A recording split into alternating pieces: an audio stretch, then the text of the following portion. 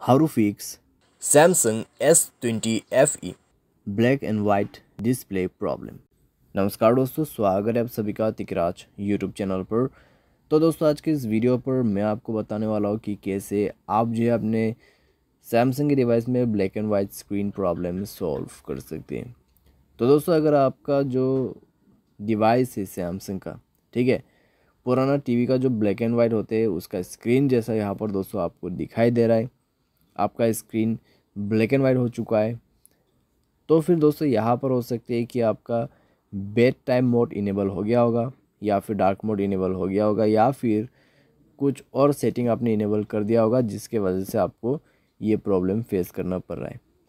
ठीक है तो इस वीडियो को अंत तक देखें। मैं आपको बताऊँगा क्या क्या आपको चेक करना है, कैसे आपका प्रॉब्लम सॉल्व होगा।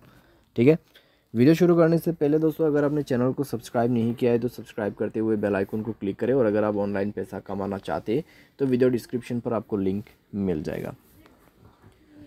किसी भी प्रॉब्लम के रिगार्डिंग पर आप हमें ट्विटर पर फॉलो करके मैसेज भी कर सकते हैं। चलिए दोस्तों, वीडियो शुरू करते हैं। तो दोस्तों, यहाँ पे सबसे पहले आपको करना क्या है, आप सेटिंग पर जाए, ठीक है? सेटिंग पर जाके दोस्तों डिस्प्ले मोड इनेबल करें और चेक कीजिए यहाँ पर आपका डार्क मोड इनेबल है या बंद है। तो डार्क मोड दोस्तों, आप इसको बंद करके आप लाइट मोड को यूज़ कीजिए। ठीक है? लाइट मोड को यूज़ कीजिए, आपको कहीं भी ब्लैक एंड वाइट नज़र नहीं आएगा। सिर्फ़ वाइट ही आपको शो होगा। उसके बाद आपको नीचे में जाना है digital wellbeing and parental control पे आपको क्लिक करना है और उसके बाद आपको यहाँ पे सेलेक्ट करना है बेड टाइम मोड और आपका जो बेड टाइम मोड है, उसको बंद कर देना है। शेड्यूल पे आपको सेट नहीं करना है कम्प्लीटली बंद कर देना है। ठीक है? आपका बेड टाइम मोड उसके बाद दोस्तों आपको नेक्स्ट पे क्या करना है? डिस्प्ले पर जाना है।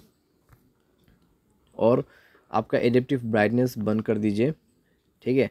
यहाँ पे आई कंफर्ट शील बंद कर दीजिए और विजिबिलिटी इन्हेंसमेंट पे जाइए।